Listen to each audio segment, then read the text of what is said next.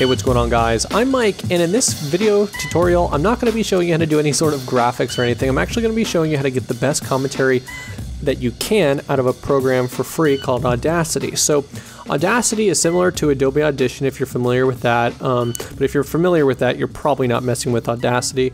Um, I use Audacity even though I have I have Audition only because Audacity is a lot easier to use. But I'm just going to be showing you if you're just starting out, maybe you're doing commentaries or anything like that, just how to get the best quality audio you can out of Audacity. So here we are. We have this uh, audio clip here. Um, I'll let I'll let you listen to it just so you can hear what it sounds like. Hey, what's going on guys? This is Mike, and in this video we're going to be discussing just how to affect the audio on this track. So you can tell that the audio is pretty good, but it's a little flat and it's a little it's a little low in volume.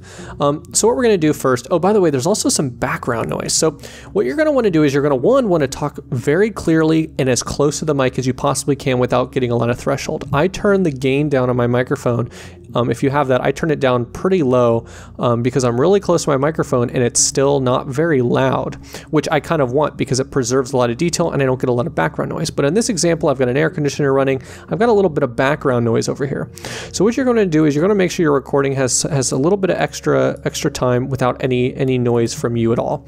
So that way you could just select a little portion, come up to effect, down to noise reduction, and get noise profile. So what this does, you're basically telling telling the program, listen, this is background noise and I want you to remove it. So it just get a, got a profile for the background noise. Now what I'm going to do is I'm going to select click away, come back to effect, noise reduction, and just hit OK. And basically what that did is it now has removed all of the noise from any of the pauses, pause areas, but it's also removed it across the board. It's not perfect, but it's pretty good. So now what I'm going to want to do is because it's so flat, I want to add some treble and some bass to it. So I'm going to go come back to effect again, equalization.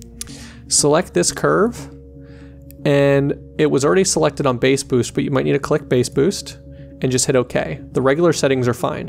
And then I'm going to do the same thing again, effect, equalization, and come down to treble boost. So now when you listen to it, um, you'll be, you should be able to hear a world of difference. Hey, what's going on guys? This is Mike, and in this video we're going to be discussing just how to affect the audio on this track.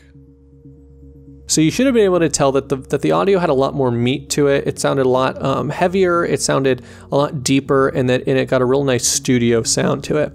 So the last thing we need to do is because it's a little low, we just want to increase the volume across the board, make sure we even out a lot of these low points. You're not going to be talking directly into the mic perfect distance the whole time. So what we're going to do here is we're going to come back to effect again, compressor, just hit OK, and then effect, normalize and okay. This is set to negative 3. Yours might be a little different. I just set it to negative 3.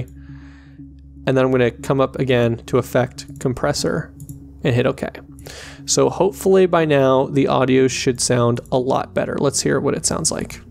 Hey, what's going on guys? This is Mike, and in this video we're going to be discussing just how to affect the audio on this track.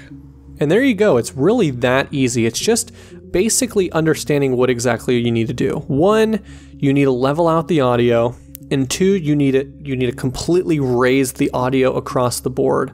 Um, along with adding the treble and bass effects before you go ahead and do that. Make sure you remove the noise, you do noise removal as well. So, anyways, guys, that was just the tips that I use to get good sounding audio in Audacity. You could even come through it again and remove the the background noise again because again when we boosted everything it even boosted a little bit of the of the residual background noise.